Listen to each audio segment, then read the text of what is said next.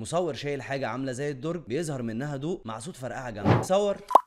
سنة 1887 كان ممكن صورة واحدة تقضي على حياة المصور. لو كنت شفت قبل كده فيلم كوميدي بيتصور في القرن 19 فأكيد شفت المشهد ده قبل كده. مصور شايل حاجة عاملة زي الدرج بيظهر منها ضوء مع صوت فرقعة جامدة. وممكن الموضوع يتطور وتشوف سحابة من الدخان. ويظهر المصور واقف ووشه اسود التقنية دي كانت بداية اختراع الفلاش.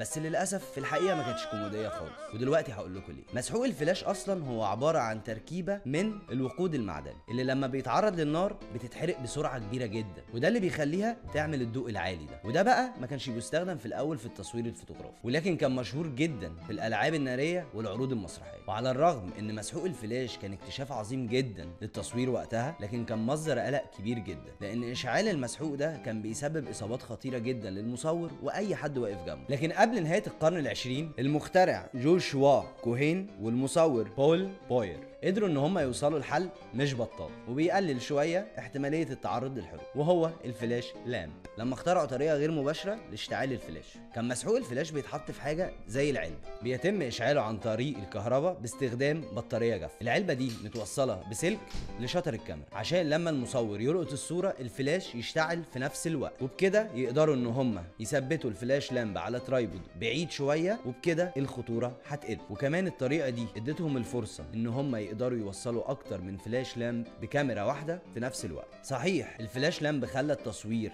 أمان أكتر شوية لكن مقارنة بأيامنا دي فهو يعتبر خطر جدا. وممكن المصورين يتصابوا بحروق خصوصا وقت تحضير مسحوق الفلاش. ولحسن الحظ بدأ حل جديد يظهر. في سنة 1927 أنتجت شركة جنرال الكتريك أول flash bulb. فبدل ما يشتغل مسحوق المغنيسيوم في الهواء الطلق ويسبب الإصابات الخطيرة اللي بتحصل قرروا إن هم يحطوا خيوط المغنيسيوم مع غاز الأكسجين في flash bulb مقفول وكانت في البداية مصنوعة من الإزاز اللي اتطور بعد كده للبلاستيك واللي لقوه أنسب لأن قوة الاشتعال كانت بتكسر ال lamp وده كان بيسبب إصابات اخطر بكتير. وده طبعا ما كانش أفضل حل لأن ال flash bulb كانت هشة جدا وضعيفة ومش ممكن إن أنت تستخدمها غير مرة واحدة بس. وعملية تبديلها في كل صورة كان شيء ممل جدا لأي مصور. وعشان كده في أواخر الستينات قدمت شركة كودك ال flash cube وهو عبارة عن مكعب ليه أربع جوانب كل جانب منهم كأنه flash bulb لوحده. وفي كل صورة المصور بيفضل يقلب الجانب اللي بعده لحد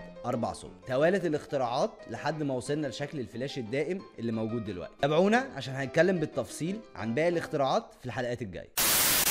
جوشا هو بالانجلش جوشا. فين وا جوشوا. كوهين. جوشوا لولوا. جوشوا وكون. جوشوا كوهين. شكل يعني مش كده. جنرال الكتريك إن هي تخترع أول فلاش بلب. بلب. أول فلاش بلب.